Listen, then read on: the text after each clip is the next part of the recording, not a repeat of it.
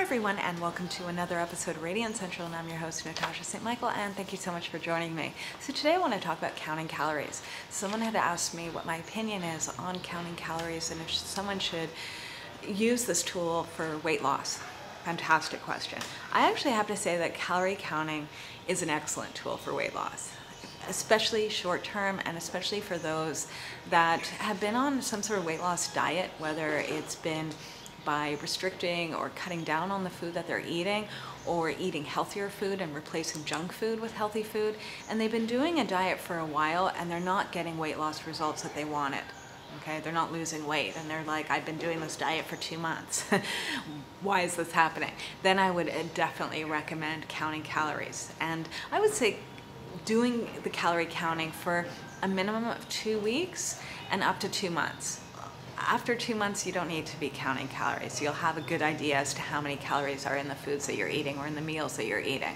But it's something that is good to keep in check. I find in general that a lot of times when people start actually writing down what they're eating every day and at the end of the day counting the, the calories in those foods that they're eating, then they start actually getting a good reality check as to how much they're actually eating and how many calories are in the foods that they're eating a lot of times people don't realize how much they're eating. They forget about the mid-morning snack they had or the fourth meal they had at midnight, all of that. and once they start writing things down, they become more accountable to what they're eating and keeping track of it. And then when they count the calories, a lot of times people always tell me how amazed they are how many calories certain foods have you know, like a lot of health foods. A lot of times people think that health foods are low in calorie. That's not always the case. Salad dressings can have a lot of calories in it. Nuts and seeds can have a lot of calories in it. Beans and legumes can have a lot of calories in it. Things like that. So sometimes you go onto a healthy diet and you're eating all these wonderful, beautiful, healthy foods, but maybe you might be eating too much of certain foods that it's not helping you lose weight. And in fact, it could be actually helping you gain weight. and that might not be what you want, right? And it's the same thing too with drinks and junk food. Those things have a lot of calories too. So counting calories is an excellent tool to, to have an idea how many calories are in certain foods that you're eating.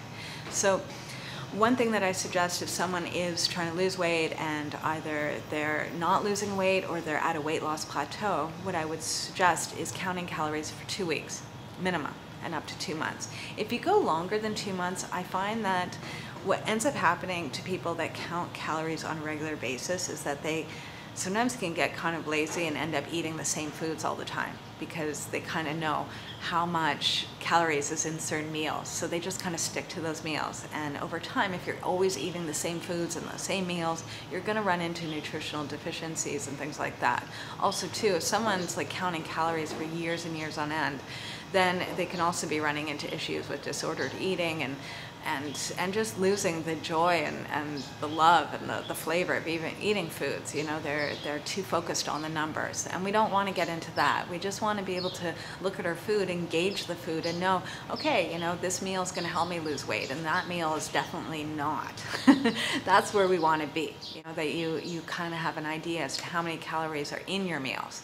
And I would say after two weeks to a month or even two months, you'll know. You'll know how many calories on average are in the fruits and the vegetables and in the meats and in the cheeses and the nuts and the seeds and the legumes. You'll have an idea, like just by looking at things, how many calories are in a meal. Okay, so this is a great tool. And for those that are, let's say, on a weight loss plateau, or those that are trying to maintain their weight after they, they've lost weight, counting calories also can help.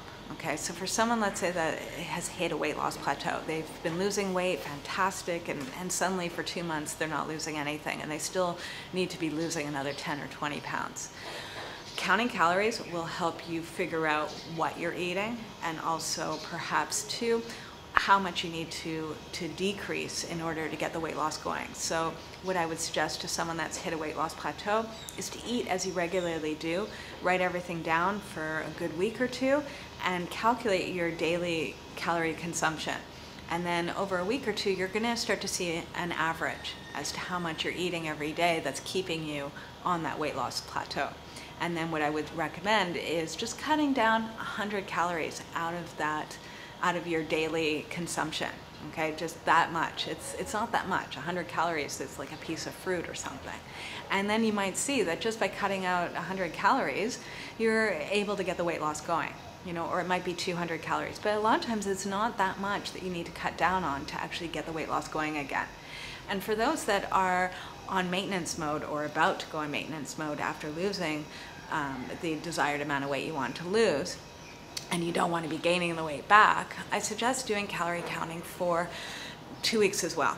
Okay, and what you would do is every day write everything you're eating down, calculate the amount of calories you're eating, and also watch your weight.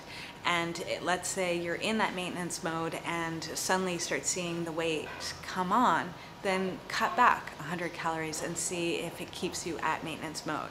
Over two weeks, if, you, if you're on maintenance mode and you're not gaining weight and you've been counting your calories and your weight just stays the same, then you can figure out what your average consumption of calories is per day to know, okay, I need X amount of calories every day to be at maintenance mode. This is how much I need to eat. And so that's a great tool. So you know how much you need to eat to maintain your weight and if you need to lose weight, you'll know how many calories you need to do that, and you'll also know if you start gaining weight, how many calories you're eating to actually start gaining weight. So this is a great way of getting to know your own body because every body is different if someone were to ask me, you know, how many calories do they need to eat on average a day, it really differs between men and women. It differs at your age group. It differs at the amount of activity you're doing a day, how many calories you're burning a day, and also your metabolism. You know, every person's different with their metabolism. Some people have a high metabolism, some people have a low metabolism. I can say on average, women, if they want to lose weight, on average, they need 1,200 to 1,600 calories a day to lose weight. Never, ever go below 1,200 calories a day. It's very low, 1,200 calories a day. And I find if someone goes even lower than that, then they run into issues, uh, potential issues of not getting enough nutrition out of their food and, and slowing down their metabolism even more. So always a minimum of 1,200 calories a day. On average, women need about 1,200 to 1,600 calories a day depending on your age, activity level, and metabolism to lose weight. Men, on the other hand, I would say need about 1,600 to 2,000 calories a day to lose weight and never going under 1,600 calories a day. And then to maintain weight, I would say women on average need about 1600 to 22 cal 2200 calories a day to maintain their weight, somewhere in that range, depending on their height, their, their weight, and their um, metabolism and activity level every day. Men, on the other hand, I would say need about 2,000 or 2,200 calories to 2,800 or even 3,000 calories a day to maintain their weight. So those are sort of a wide range of a guideline as to how much you need to lose and how much you need to maintain. The main thing is, is you have to listen to your own body. Don't listen to a figure that someone's just throwing out at you. You really have to see for yourself as to what your body needs and what feels good for you and what's working for you and you as an individual. All right, so that's my opinion on counting calories and also, I want to mention too that the next seven day raw food challenge, it starts this coming Monday, July 21st. If you want to do a raw food cleanse, this is super fun, the food's delicious, and you get to eat raw foods for seven days straight. People feel fantastic when they do a raw food diet, and it's a great way of doing a cleanse where you can actually still eat food and fresh, beautiful food. And pretty much when you sign up for the program, you get the recipes and a menu planner and a shopping list worksheets and, and everything and guidelines pretty much of everything you need to know about doing the raw food diet for a week. Plus you get access to a private online forum where you get to connect with everyone doing the raw food challenge with you and there's daily videos walking you through everything you need to know about the raw food diet for the week. So it's a fun program. It's an all online program so you can do the program from anywhere around the world and to sign up and get more information on the seven day raw food challenge you can go to my website at radiancecentral.com, click on products, and you'll see the seven day raw food challenge there. Have a super fabulous day, everyone, and I'll see you again soon.